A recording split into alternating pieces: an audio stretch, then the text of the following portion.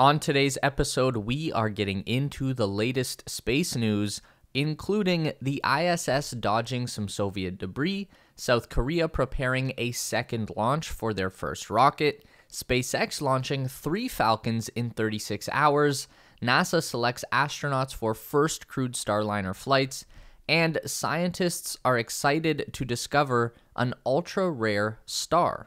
There's lots to go over this week, so let's get going. This is the space race. Roscosmos, the Russian space agency, was forced to maneuver the ISS away from satellite debris using the uncrewed Progress 81 cargo vehicle's engines to nudge the station out of the path of the oncoming fragments. Dmitry Rogozin of Roscosmos reported that at 2203 Moscow time, the engines of the Russian Progress MS-20 transport cargo ship carried out an unscheduled maneuver to avoid a dangerous approach of the International Space Station with a fragment of the Cosmos 1408 spacecraft. The Cosmos 1408 was an old Soviet electronic and signals intelligence focused Tselina D satellite and was launched in 1982. It was destroyed on November 15, 2021, as part of a Russian anti satellite weapons test. At the time, US military and NASA officials condemned Russia for the reckless test, which they rightly predicted could put the ISS and other orbital platforms at risk. Just hours later, astronauts were forced to take shelter in their return vehicles as the debris passed uncomfortably close several times. Space agencies around the world keep a very close eye on debris, so the trajectory of the Cosmos 1408 debris was known, and while the four and a half minute long burn to move the station was unplanned, NASA said there was never any cause to be alarmed. The NASA update says that there was no impact on the station operations, and without the maneuver, the fragment was predicted to pass within a half mile of the station. Still, it's better safe than sorry, especially when there's the potential to reenact the Kessler syndrome scene from Gravity. We're all glad the station was pushed to a higher orbit as a precaution. This is another stark reminder that it's getting awfully crowded in low Earth orbit.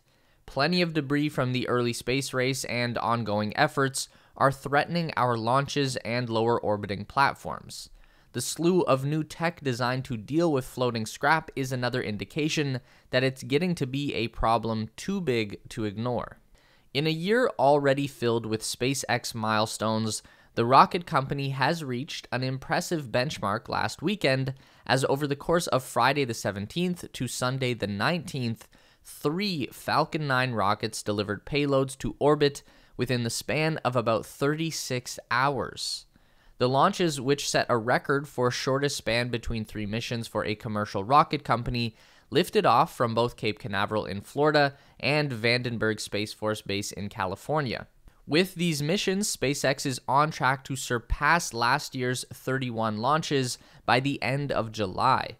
The rocket company is aiming to launch over 50 Falcon 9s this year, in addition to any testing of their Super Heavy and Starship.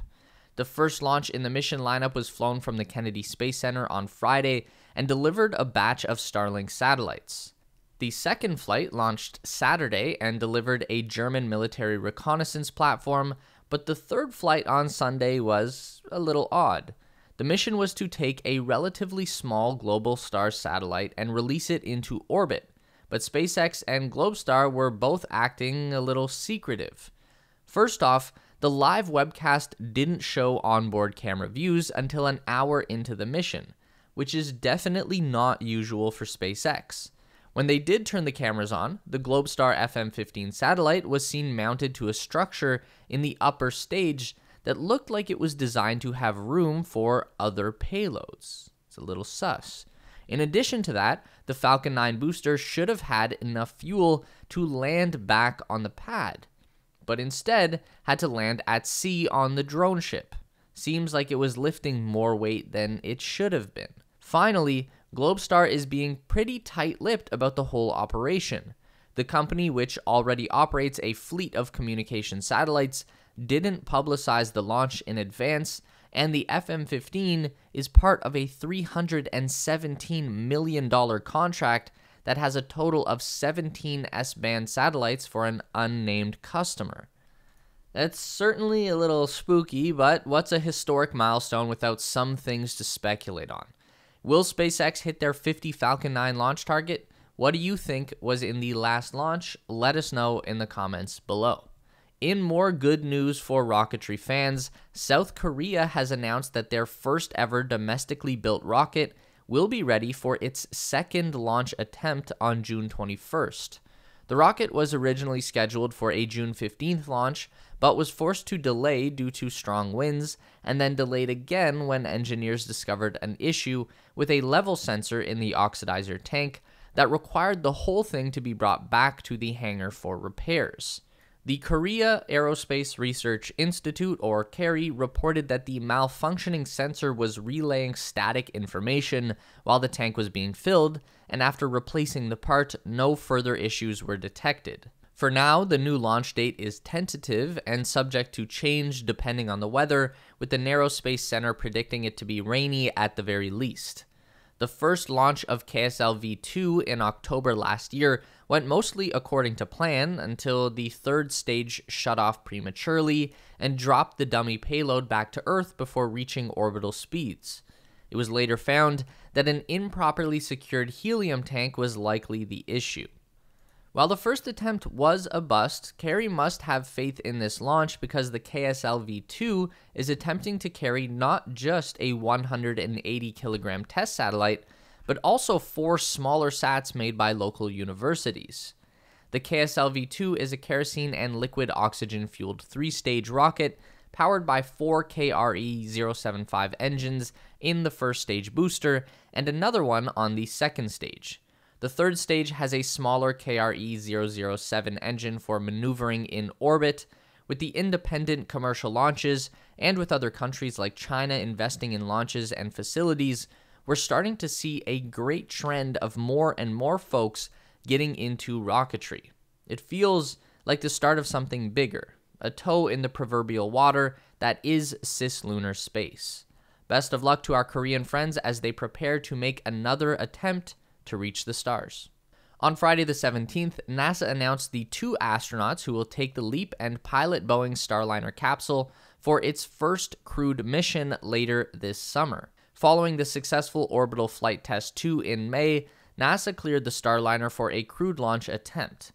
Looking ahead to the as yet unscheduled launch, NASA has assigned astronauts Suni Williams and Butch Wilmore, both of whom are veterans to orbital operations which is good because Starliner has had no shortage of issues on the road to this milestone.